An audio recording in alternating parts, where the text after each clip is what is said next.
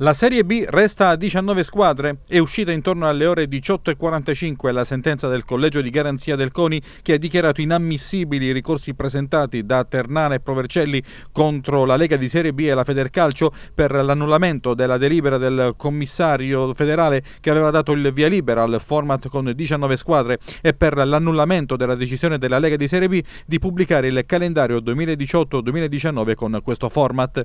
Era questa la decisione più attesa ed è in parte un colpo di scena, visto che nelle ultime ore i rumors principali volevano come probabile il ritorno della B a 22 squadre, ma così non è stato. Nel dispositivo si legge anche che la decisione è stata assunta a maggioranza con il dissenso del presidente del collegio di garanzia Frattini e di un componente. Di conseguenza sono stati dichiarati improcedibili per difetto di interesse gli altri ricorsi, in particolare quelli della Ternale e della Provercelli nei confronti di Novara e Catania. Queste quattro squadre, più il Siena, tutte ambivano al ripescaggio, disputeranno la Serie C. A tal proposito, domani mattina a Firenze, nella propria sede, la Lega Pro diramerà i tre gironi e procederà al sorteggio del calendario che riguarda da vicino il Teramo, con l'obiettivo possibilmente di far scattare il campionato già in questo weekend.